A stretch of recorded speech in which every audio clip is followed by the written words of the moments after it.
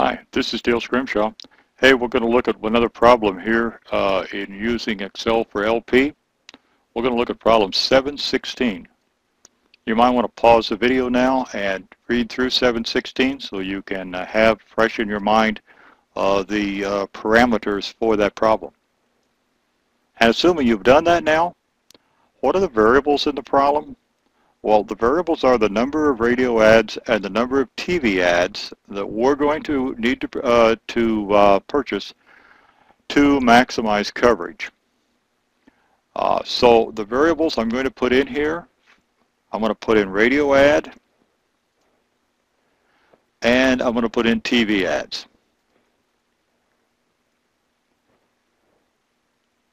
My objective function is going to be, it costs, uh, I get uh, 3,000 coverage for every radio ad, so that's 3,000. And I reach 7,000 people with every TV ad, so that's 7,000. So I'm going to put in here for, for what goes in uh, cells B and C, I'm going to put uh, the, I want to say number purchased. The number of radio ads and the number of TV ads that are purchased. And over here, instead of profit, what have I got? I'm going to have coverage, the amount of coverage I get, and the number of people, because radio ads reach 3,000 people and TV ads reach 7,000 people. What are my constraints? Well, I have one constraint in my cost, ad cost, a radio ad cost me $200 and a TV ad cost me $500. So subject to the constraint of radio ads at 500 and TV ads at, uh, I mean radio ads at 200 and TV ads at 500, uh, whatever results I have must be less than or equal to 40,000. So in here I'm going to put uh, my symbol that I want to be sure I keep everything straight so it's less than or equal 40,000. Now what other constraints do I have? Well this one's a little bit different in that radio ads must be at least 10. There must be at least 10 radio ads.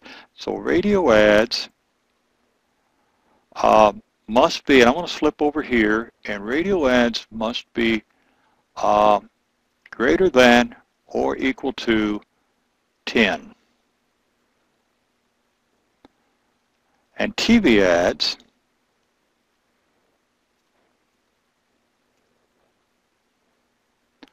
must also be greater than or equal to 10.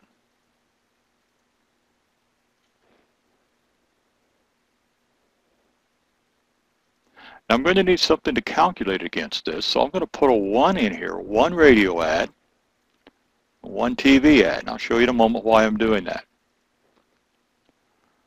And now the last constraint I have is that radio ads must be greater than TV ads. So this would be that radio ads must be equal to or greater than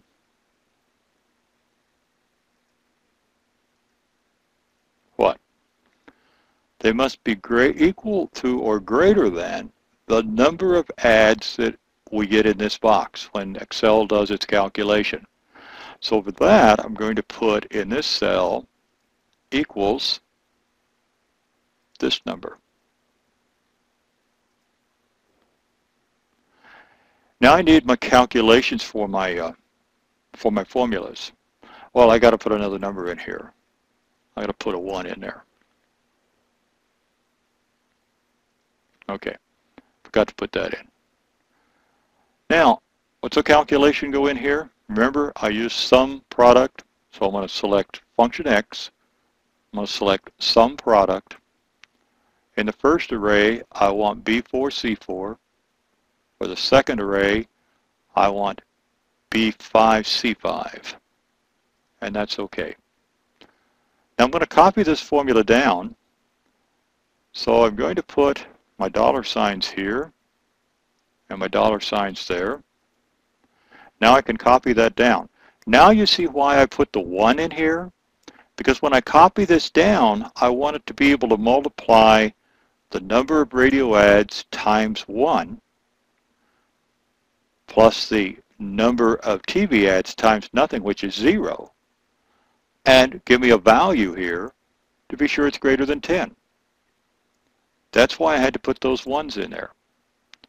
So now let's right-click, copy, scroll down, and paste the functions.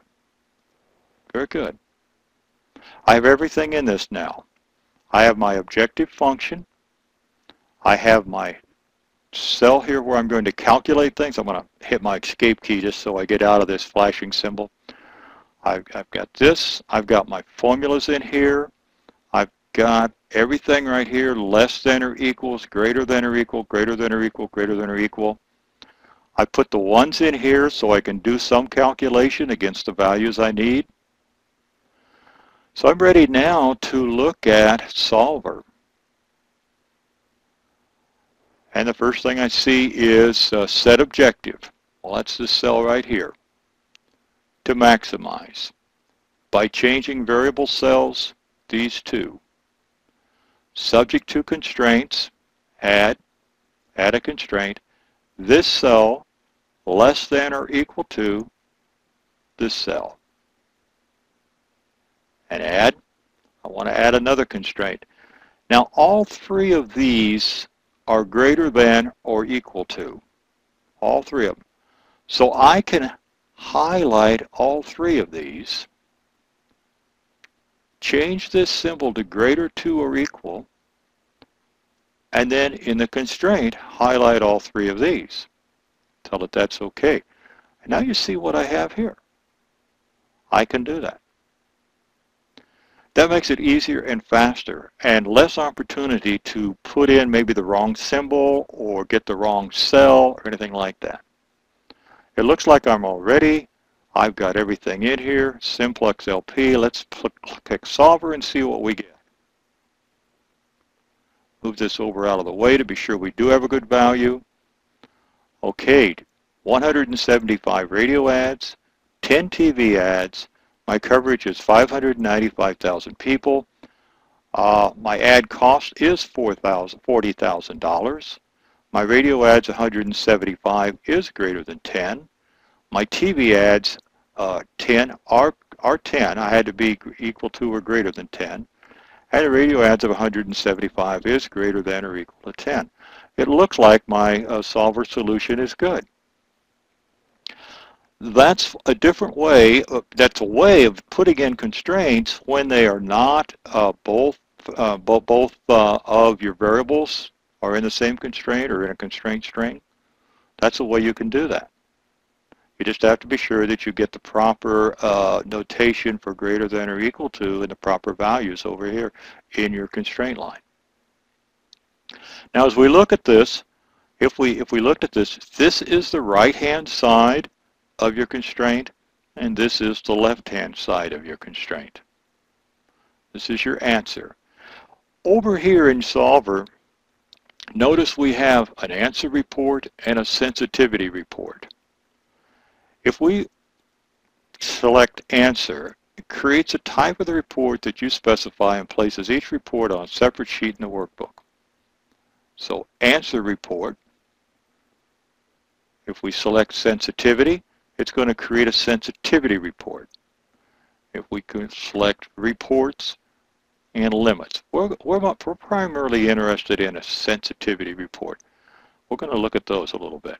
Let's also see what an answer report looks like. And tell it that's okay, and keep the solver solution. There's our answer report. There's our sensitivity report. Let's look just a little bit here at this answer report. You see, it gives us what happened, that we did find a solution, the options, the objective cell, D5, objective function coverage. The objective function was coverage. Started with zero, and our final value was we we we covered five uh, 595,000 people. The number of purchased radio ads. Notice here how, how Excel puts these two cells together. I had number purchased and radio ads. Those were in two different cells if you remember right. Excel puts them together. What we're doing and what it is. Number purchased radio ads. Number purchased TV ads. 175 and 10. We'll talk about these other items later. Here we have the ad cost coverage, 40,000. It's binding, there's no slack. Radio ads coverage, 175, it's not binding. It could go down to 160, 165 slack because we said it had to be uh, at least 10, so there's 165 there. And it also said it had to be greater than the TV ads. TV ads coverage was 10. That is binding because we did just get the 10. That's binding there. There's no slack. And radio ads coverage to 175. That's not binding, and that's a repeat of the other one. Now our sensitivity report. This has a lot of information in it that we're going to look at in a little bit more detail in another video. But we see here the final value for the number of purchased radio ads, uh, reduced cost, that's something we'll talk about. Shadow price, that's something we'll talk about. Right-hand constraint, that's something we'll talk about. An allowable uh, increase or decrease, and then that's something we're going to talk about later. Just to get you familiar right now with the answer report, the sensitivity report. So back to sheet one, and that is problem 716. Well, I hope this has been helpful in another way that you might find that you're going to put your constraints in.